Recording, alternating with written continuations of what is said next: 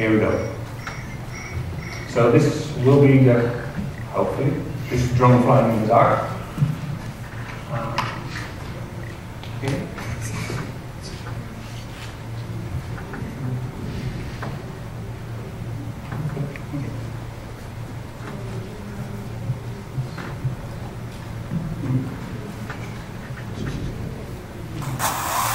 Here we go.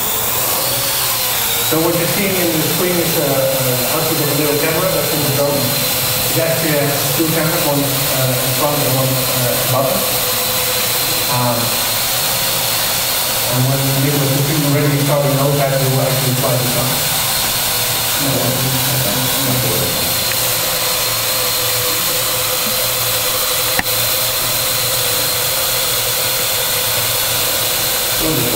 We'll. Okay, here we go. So using a virtual uh, joystick control, you can, can move the drone around, you can move it up, you can move it down and rotate it.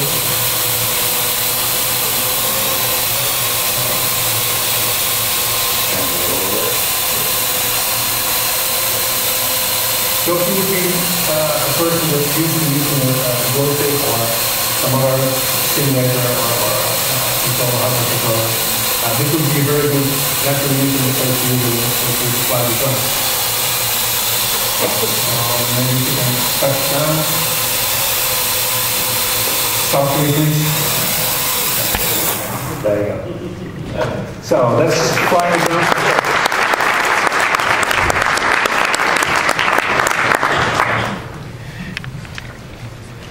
So now Bart is going to set up for his Kinect version of the same thing. Um, The impressive thing about that demo is, where's the mic? Who's got the mic?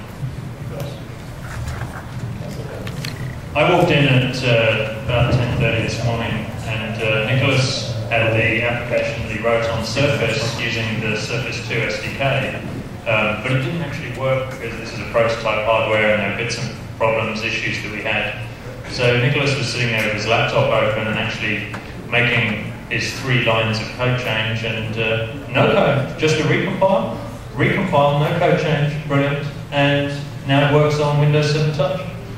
And contrast that with the Surface 1 development environment. I think personally that's one of the things I was most excited with Surface 2 is uh, how you're able to code for it now is tremendously easier and you can leverage it. You can leverage portions of it obviously, right? Portions of it you can leverage it on, uh, on typical Windows 7 touch using that, using tho- those APIs and, and everything. I mean, it's much easier to, to do that, these types of things. So that code reuse is amazing.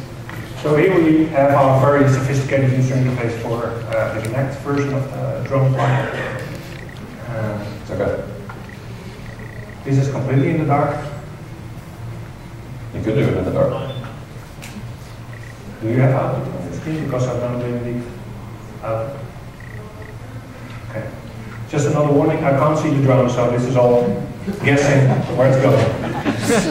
so I'm standing here like an idiot to have the Kinect and recognize me.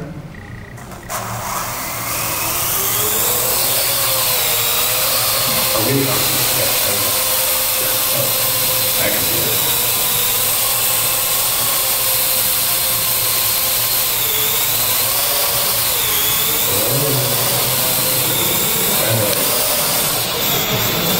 Let's do it. I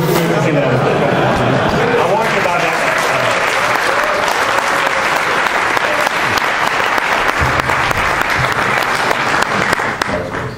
The, the red is representative of the results of the flight. Minority Report means Terminator Salvation. So, Now we're back in, back in.